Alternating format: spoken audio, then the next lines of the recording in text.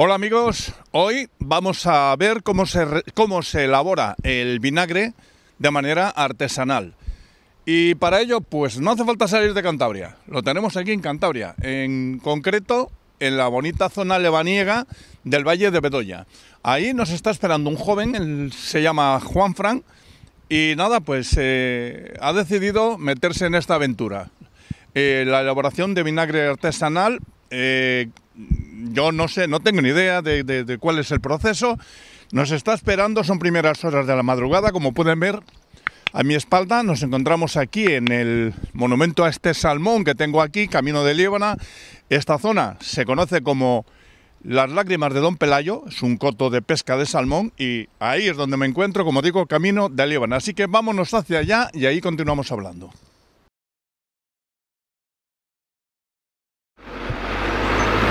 Bueno, pues ya estamos en el Valle de Bedoya, el lugar impresionante de bonito, y este es uno de los barrios que tiene este valle. Y ya nos encontramos en el pueblo donde nos están esperando, Esanos, es el nombre de este pueblo, Esanos. Aquí lo tenemos en esta ladera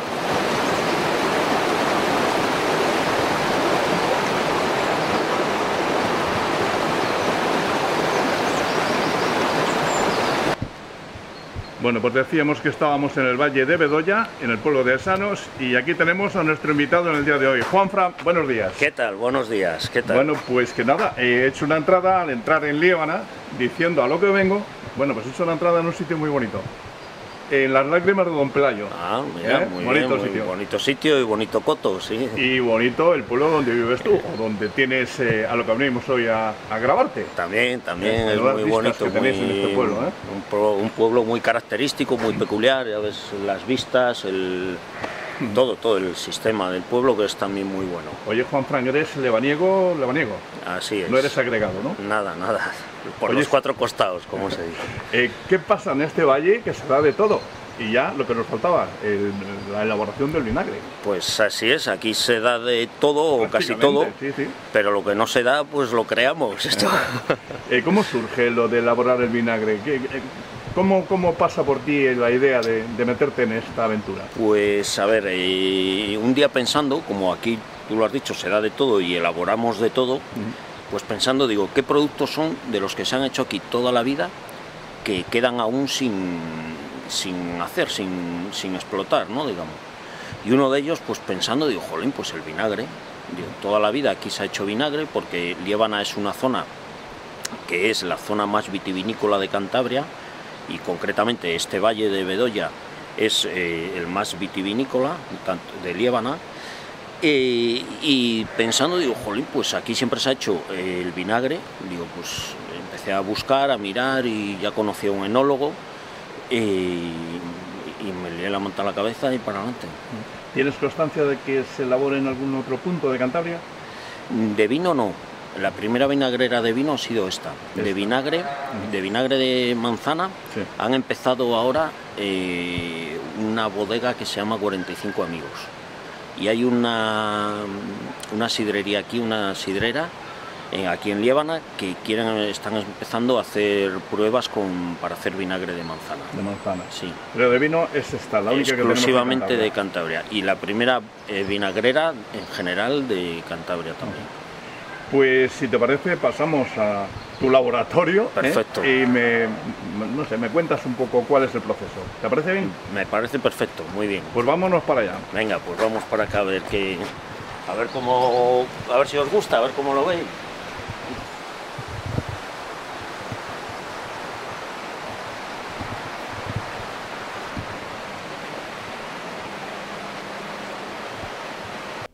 Bueno, pues nada, bienvenido a, la bodega. Aquí estamos, aquí tenemos toda esta colección de, barricas que están aquí en Solera y como veis, pues estos son barricas que están todas destapadas. ¿Por qué? Son barricas de vino destapadas, que es como se hace el vinagre. Voy a explicar un poco cómo, cómo se hace. Estas barricas son de 225 litros y yo las tengo más o menos a 200, para que estén llenas más o menos a esta altura, para que así haya una cámara de aire.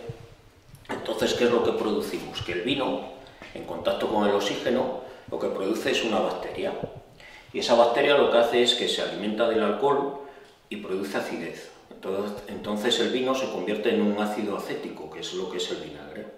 Entonces cuando consume todo el, todo el alcohol, que queda, siempre queda lo que se llama alcohol residual de un grado o como un máximo dos grados, es cuando el vinagre pues ya está en condiciones óptimas para, para poder ser consumido. Este concretamente es un vino, vino de vino tinto, que lleva aquí desde el 2014. Perdona, Juanza, vino tinto de esta tierra. Sí. De, viñedos de, donde nos encontramos ahora mismo. Hay aquí hay de viñedos de aquí y después también hay de alguna orujera que, que ha hecho vino para, para, la elaboración del orujo. Mm. Entonces yo me he quedado con ese vino. Sí, vale. Entonces aquí hay una solera de, que lleva ya, va a hacer ahora ya seis años, que todavía no le he sacado al mercado. La verdad que es muy rico, si quieres podríamos hacer una cata, que lo tengo aquí ya preparado. Te dejo escoger la barrica que quieras. Eh, ¿Todas las barricas tienen el vino del mismo tiempo? Sí, estas sí, y estas son de vino dulce, y aquellas de, esas de vino dulce y vino tinto.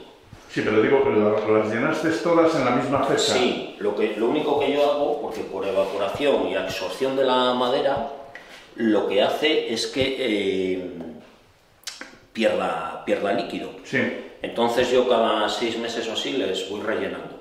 Les echo, más o menos van perdiendo dos litros o así. Tengo aquí una regla que me yo con, con navaja que iba llenando una barrica, la fui llenando de, media en media cántara, que es una medida muy que se estila mucho aquí siempre. Media cántara, una cántara son 16 litros, media son 8.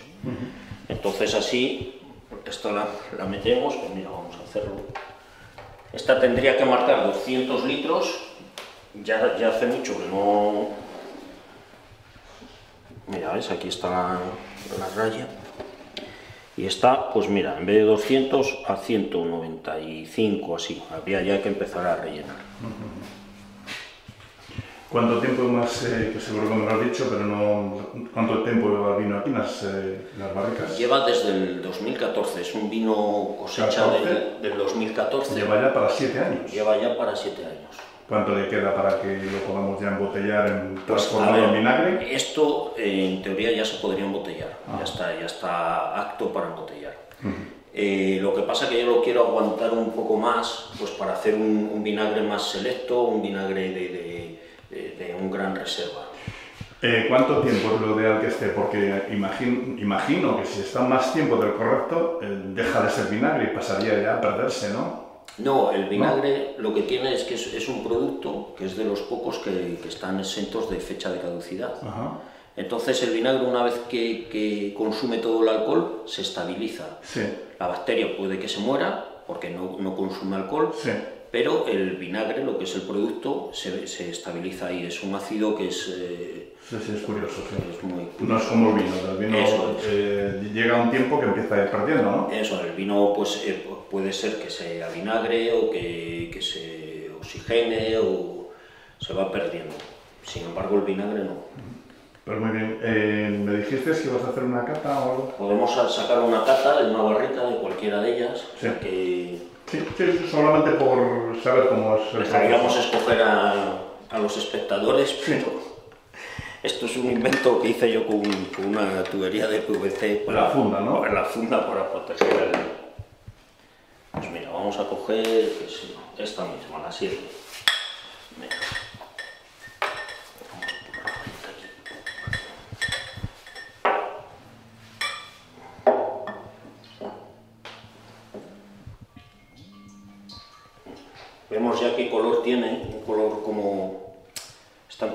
Coger un color como a coñac. Sí, sí, sí.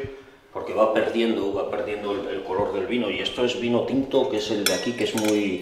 Es un vino oscuro, es un vino... Y ya no se, se, asimila más al coñac que al vino mismo, exactamente. Eso es. no sé si se puede... Sí, sí, sí, perfecto. Y el olor, vamos, el olor es muy Bueno, luego cuando termine mi grabación Sí, voy a probarlo, ¿eh? Un olor a madera. Huele también como a frutos secos.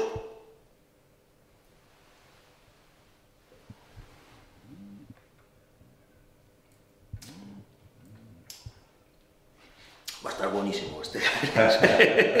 Pues nada, que, no se me olvide probarlo luego, ¿eh? Muy bien, ya verás que rico. Y, y después, una vez que está aquí la, la solera, una vez que el vinagre ya está apto para, para ser embotellado, pues pasamos a la, a- a la siguiente sala, que es esta de aquí.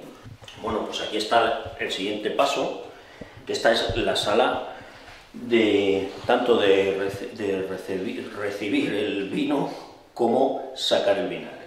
Este depósito concretamente, aquí es donde tengo en lo que es el vinagre ya acabado, eh, que está ya preparado para embotellar.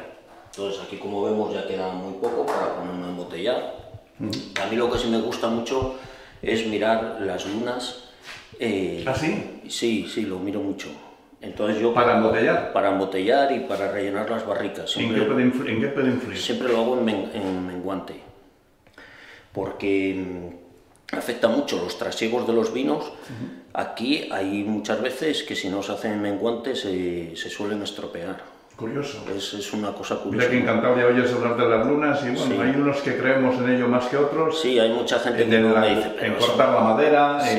en, no sé, en matar el cerdo y elaborar las morcillas, Bueno, en la- muchas cosas. en mucho, mucho. La sí. madera, en la madera se nota muchísimo. Sí, sí, sí, sí. Curioso. Entonces aquí tenemos lo que es el, el vinagre. Sí. Entonces yo ya lo saco y lo llevaría a esta embotelladora. Esta embotelladora luego vamos a otra sala que os, os explico. sí.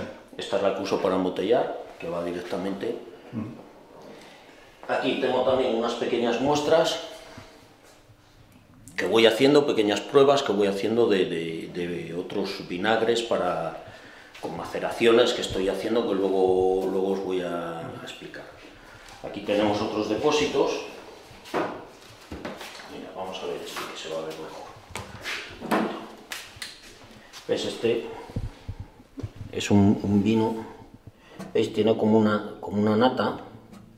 Eso es lo que se llama la madre del vinagre. Que aquí es donde estaría toda la, la bacteria y todo. Aquí se va a ver, aquí en este se va a apreciar mejor.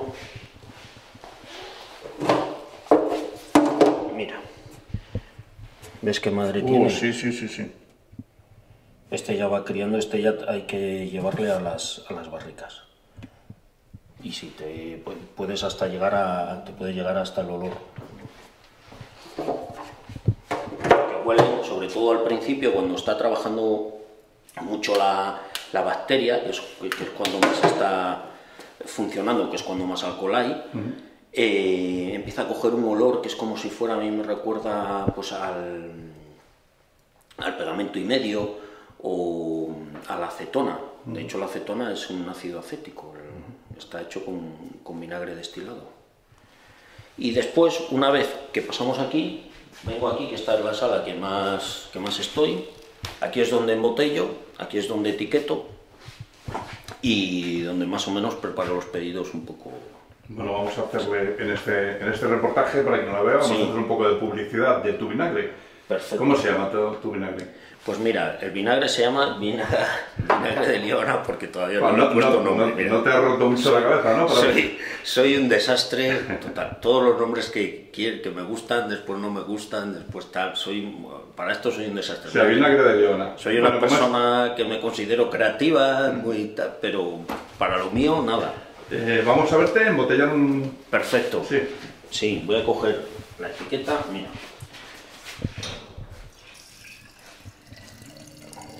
Este es un depósito que tengo con vinagre que está ya listo para embotellar. Ahí está. Mira, los 200, es- la marca es esta de aquí. Sí. Entonces, una vez que embotello, pongo la- el tapón y después le ponemos esta cápsula que es como un precinto de garantía de, de seguridad para evitar que, que sea un producto manipulado. Y esto es simplemente básico, con calor se contrae y ya está ahí. Y después ya pasamos pues a etiquetar, si es que aquí es todo, todo manual. Entonces aquí ya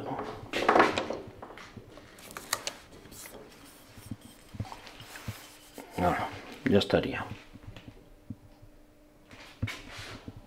Esta luego te la llevas. Me gustaría que los espectadores pudieran, a ver si ya tanta tecnología que pudiéramos hacer así y que cada uno llevara lo tuviera en sus casas. Es una pequeña muestra o algo que por lo menos lo prueben, darles la oportunidad de probarlo. Pero bueno, eh, sí que alguien si se pasa por Líbana te puede visitar, ¿no? Hombre, perfectamente, sin problema, sin problema.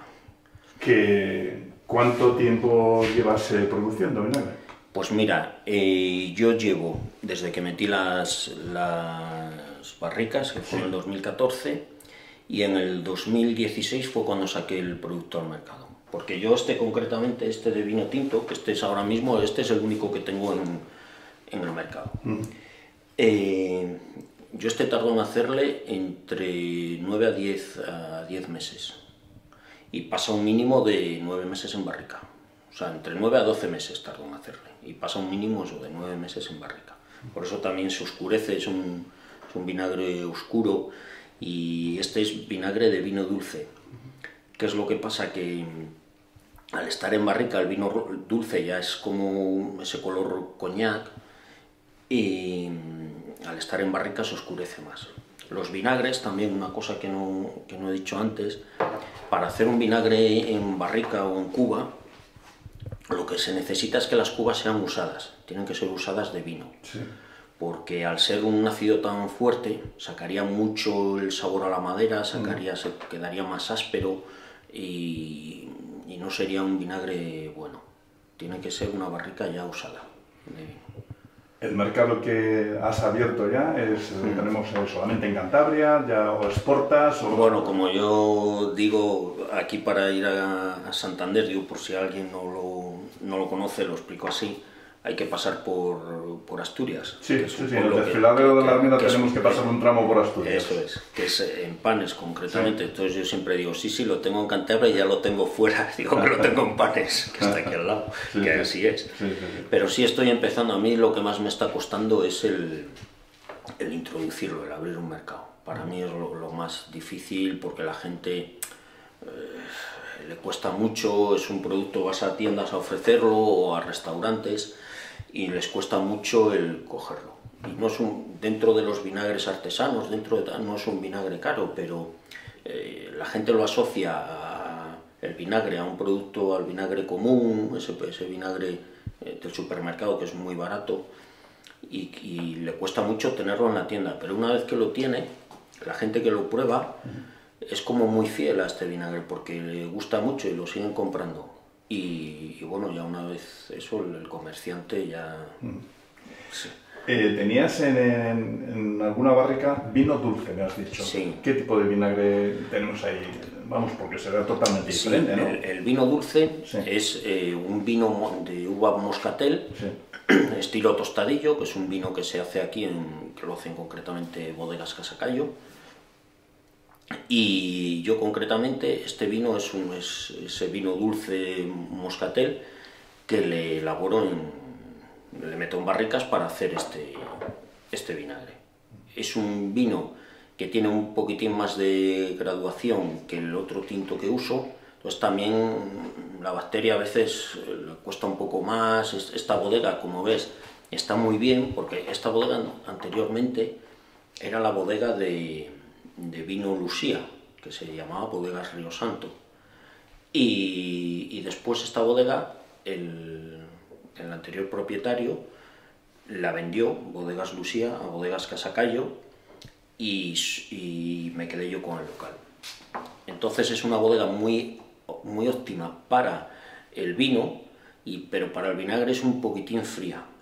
Y hay días de invierno, algún día que me baja mucho la temperatura, si tengo que ponerle un, radiador o algo algún día, muy pocas veces, pero sí, porque mm, las bacterias como mejor trabajan, como mejor están, es con calor. Entonces eh, se debilitan, se puede morir alguna, tengo que meterles un poco más de vino para que tengan alcohol nuevo y se alimenten.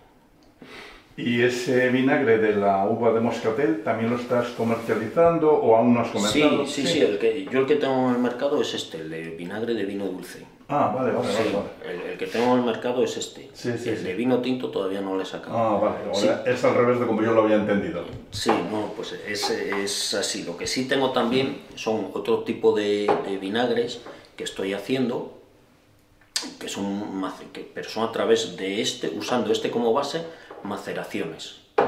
Entonces estoy investigando o, probando hacer vinagres totalmente novedosos en el mundo, porque yo no conozco nada eh, relacionado. Por ejemplo, tengo uno de vinagre con café que estoy probando a hacer, eh, con café dromedario, que también es de aquí, que les conozco mucho y, y me regalaron un kilo de café natural. Digo, pues vamos a probar a ver qué, a ver qué sale. Curioso también. Hice varias cosas, hice un café con vinagre, hice una infusión, he hecho varias cosas y bueno, de momento yo creo que va a quedar muy bien con, con una maceración y con vinagre.